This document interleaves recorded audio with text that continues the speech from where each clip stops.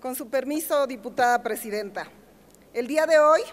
nos ocupa una realidad que nos obliga a sumar esfuerzos, más allá de cualquier color partidista. Es con el objetivo de salvaguardar de manera eficiente los derechos humanos y en especial el de las mujeres a una vida libre de violencia.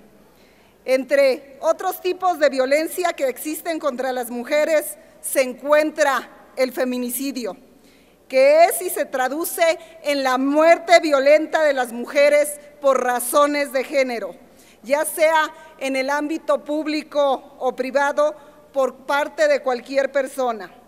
Se entiende como un fenómeno social y cultural pero además político, que atenta contra la vida de las mujeres y que adquiere una forma continua de violencia sexual, donde prevalecen los actos violentos aunando al desequilibrio de poder entre los sexos, en las esferas políticas, económicas y sociales.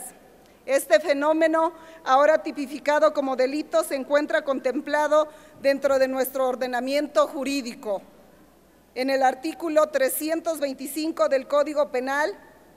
que entre otras disposiciones a la letra dice,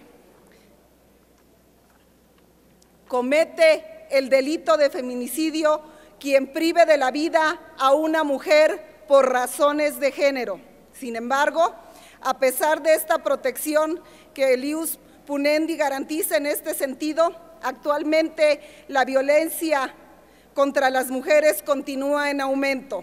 y en ello lamentablemente vemos como cada día y cada cifra que hoy las mujeres que me han antecedido, las diputadas presidentas, vemos la realidad que se vive real en este país. De acuerdo con el reporte elaborado por los premios Nobel Jody Williams y Rigoberta Menchú y presentado el día 3 de noviembre, de este presente año, en México los feminicidios han aumentado un 40%. Por lo tanto, resulta prioritaria la erradicación de la violencia generalizada contra las mujeres, no solo por razones humanitarias, sino por una grave violación a los derechos humanos. Ante tan lamentable situación, se demuestra una vez más las carencias y la falta de compromiso que ha tenido el gobierno federal para asegurar la defensa de los derechos humanos, así como la erradicación de la violencia contra las mujeres. Los feminicidios y otras agresiones cuyo sustento se encuentra enraizado en cuestiones de género ponen de manifiesto la impunidad y la falta de protección y la ausencia de programas y políticas públicas para erradicar la violencia contra las mujeres dentro de la sociedad, aumentando con ello aún más la situación de inseguridad que viven las mujeres día a día en México, con el objetivo de actuar en congruencia y con lo establecido dentro de nuestra Carta Magna, es imperante velar siempre y en todo momento por la defensa de los derechos humanos y los derechos de las mujeres. Y necesitamos, compañeras y compañeros diputados, hacer una realidad esta velación de los derechos de las mujeres, no más erradicación de la violencia. No permitamos, porque nuestras manos está, en nuestras manos legisladoras y legisladores, que hagamos énfasis y que exijamos a los gobiernos que den cumplimiento a cuáles han sido sus acciones. Hoy, amigas y amigos, cabe mencionar que actualmente contamos dentro de nuestro marco jurídico con la Ley de Acceso de las Mujeres a una vida libre de violencia, así como la Convención Interamericana para Prevenir, Sancionar y Erradicar la Violencia contra la Mujer, Convención Belén do Pará, la cual en su artículo tercero establece, toda mujer tiene derecho a una vida libre de violencia, tanto en el ámbito público como en el privado. No obstante, resulta sumamente frustrante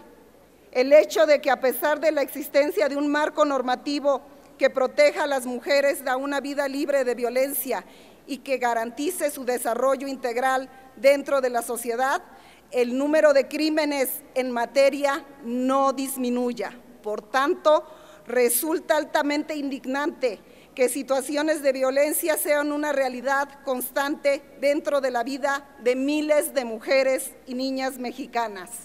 Señoras y señores legisladores, el feminicidio se ha convertido en uno de los principales factores que lesionan el libre, el libre, desarrollo psicosocial y psicosexual de las mujeres y las niñas. Se trata de un interés mundial, de una cuestión de lesa humanidad, sobre todo cuando es producto del crimen organizado internacional que involucra autoridades del gobierno. Son asesinatos motivados por misoginia que implican el desprecio y el odio hacia las mujeres y las niñas.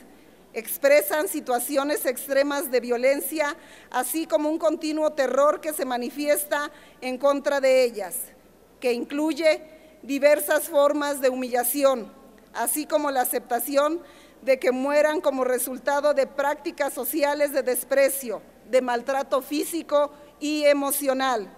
Por lo anteriormente expuesto, para Acción Nacional resulta una prioridad garantizar los mecanismos necesarios que permitan a las mujeres gozar efectivamente de una vida libre de violencia, en donde el flagelo de los crímenes en materia de género nunca más vuelva a ser una realidad dentro de la vida de las familias de México. Acción Nacional reconoce plenamente las consecuencias prácticas de común dignidad de las mujeres y hombres y con su común carácter de sujetos y agentes responsables, colaboradores en la construcción, animación y dirección de la sociedad. La discriminación y la violencia existentes contra la mujer en la familia, en el trabajo, en la política y en las demás esferas sociales es inaceptable. Es cuanto, diputada presidenta.